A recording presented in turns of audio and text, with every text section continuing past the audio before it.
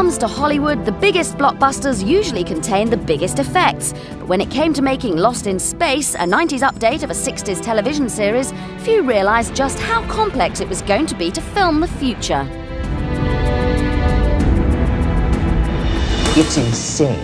There is almost no shot in the movie without a special effects element. There's green screen, animatronic, CGI. It's remarkable. It looks perfect.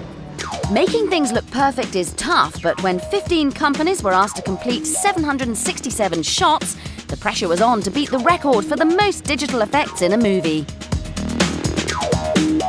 Lost in Space follows the Robinson family, a group of scientists who aim to make a planet on the other side of the universe habitable thanks to the construction of a hypergate. Made at the UK's Shepperton Studios, the Lost in Space effects teams were also British. First up with the Magic Model and Magic Camera Company, whose mixture of talents made the movie's opening battle sequence possible. Filming models against a pure colour and then replacing that colour with the correct background has been done for years. But as soon as enemy fighters switched from attacking cruisers to attacking the partially constructed Hypergate, the problems got tougher. Rushing to the rescue comes Major Don West and his partner in their digital bubble fighters. Sitting inside a gyroscopic cockpit, the actor Matt LeBlanc was filmed by a camera whose exact movement and lens settings were recorded during each take.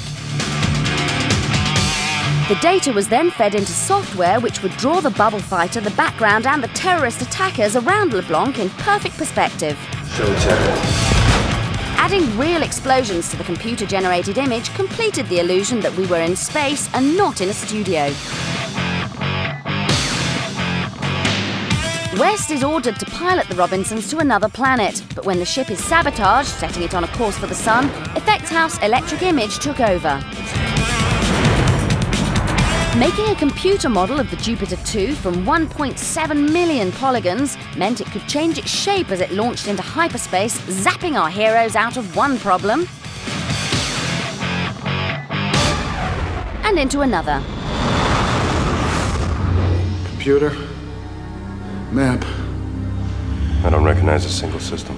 We're lost. But the Robinsons soon find they aren't the only ones when they board the Proteus, a derelict starship. She's fascinating. What? Blarp was a small monkey like creature in the original TV series, but its big screen debut demanded a lot more flexibility. Blarp was brought to life by Jim Henson's Creature Shop, experts at puppet design and performance. Initially, he was to be a mixture of physical and computer effects, but after it was found that traditional puppetry couldn't do everything that the director wanted, Blarp became totally digital. Post production house Rushes had the task of removing puppeteers and inserting Henson's computer creature into the live action footage. Although the original Blarp had to be removed from some shots, the result was actually better because the actors had been given something real to react to from the very start. Nice. Nice. Not all of the Robinsons' encounters were quite so friendly, and the film factory was asked to build an army of hungry alien spiders. Mathematical systems were tested for animating the silvery swarm, but in the end, controlling the software by hand produced the required menace. Number crunching couldn't be avoided for sequences involving time portals, and here Cinesite developed a system of swirling fragments contained within a force field. But modelling any kind of particle system needs an artistic touch, as does the effort taken to combine a handful of elements together, often supplied by different effects teams.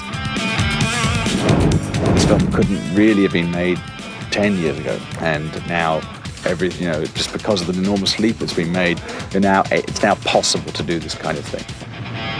Teamwork was the key to such a massive project. Sequences like holograms and helmet reveals, as handled by Framestore, were fairly self contained, but they were the exceptions. Sharing so much data and using such varied systems could have been a disaster, and yet Lost in Space has proved that Britain can compete with the Hollywood digital establishment. So, if you want to do something different, you have to be prepared to break the rules.